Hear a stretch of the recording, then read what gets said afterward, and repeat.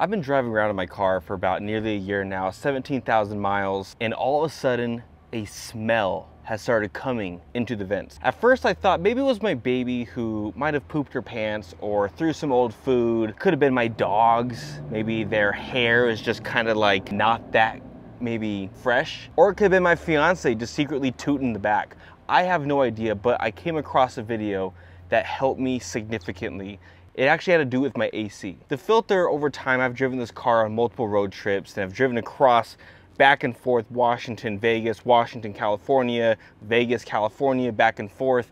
And it's probably brought a lot of dirt and dust and all the other stuff in. I came across the video and it really detailed out what I need to do and how easy it is. Now, after watching the video, I don't think it was that easy. I was like, I cannot do this. This is gonna be way too much work it's gonna be hard. But luckily, the videos made it super easy. So my whole general idea now is to make this video super easy for you guys to understand on how to do this and how simple it can be. It is currently 107 degrees out here in Las Vegas and I am about to start sweating up a storm, but I'm gonna do this as fast as I possibly can and hopefully the cameras don't die out by the heat or myself. So the first step is prying open the side panels. So this has the tools in it. So let's get started. The packaging on this thing is so nice. So we have this green little pick just to help take out, you know, all those little bolts and then to even pry open the side panel.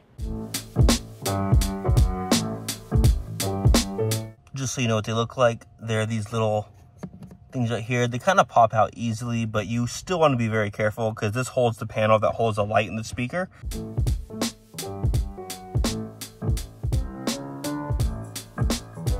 All four taken out.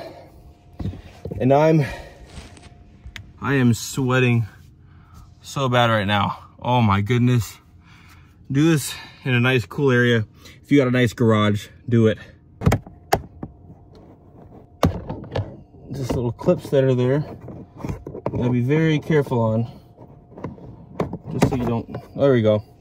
So now, as you see, this all came down and they always mention there's these things that you just pull out and they're pretty easy to pull out. You just have to clip. Okay, for the speaker, what you're gonna wanna do is actually use this tool to pry it up. Go as far as possible and then it pops up. Don't try and force it out with anything else. This will help the most. And uh, yeah. It says start at the front and slowly pry towards the back. Oh, there we go. Now I just gotta work my way down to the back. So that's out. If you do it slowly, it should all work. So right here I got the panel off, being very careful, but these are the clips that are there. So it's okay to pull them out. So just know that if it pops and they're still there, that's okay. We're almost done. Okay, there we go. Uh-oh. That's ripping apart because my lack of knowledge and strength. There we go, fixed it. Got the whole panel off and that's what it should look like. So it turns out I did kind of ruin it, I think, because there's this part stuck right there. Right there. That's the part that was hard to take off, which belongs right here. So I'll just keep it there and hopefully we can get it set back. Actually, I'll set it back. And I have the 2022 model. I got mine in August 2022 and uh, that's where it is. So there's a little clip that you see here that goes to the very top. And then there's this part that is screwed in. And now it's time to pull out these bad boys. They're stacked on top of each other. So let's see how dirty these bad boys are. I wonder if they're that bad. I haven't checked them out. Oh my goodness. I don't know if these were white before or not. I just want to smell it. So here's the part that I think is going to be probably the most challenging and that is uh, doing this. Now the first challenging part was taking off that panel and I did ruin one of my clips, but that had to do with me not knowing what I was doing compared to just trying to think strength was gonna win. Uh, I definitely won, but my car has now some sort of damage that I don't think is actually gonna matter because it's at a place that won't matter, but let's see how we do. So the first step you're gonna wanna do, of course, is open up this bad boy, this Kool-It. There is other third parties, so you don't have to get this brand.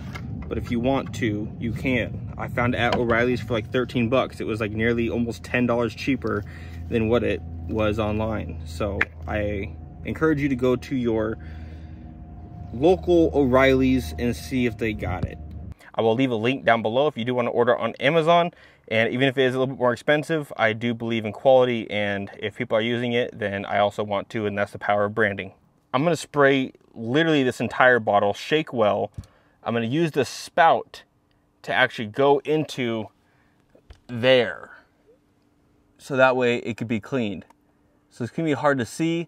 I don't know how much I could get, but I know there's some sort of a uh, vent in there. Like I could feel on this side like closer this way where you're gonna wanna spray. I don't know if I get back there, especially with my phone and stuff, but just know that you just spray the entire thing, it'll all foam up, and you gotta let it sit for about 15 minutes. So let's attempt to do this. So now, let's get to work.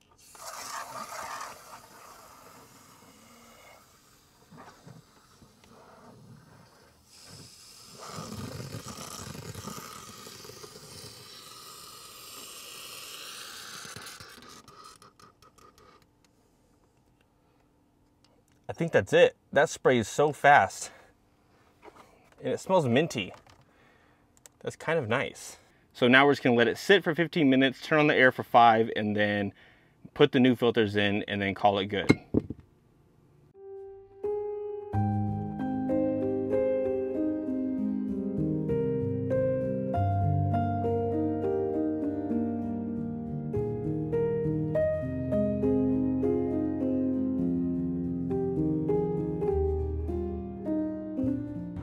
Want to dry it out real quick. So on high, let's get it.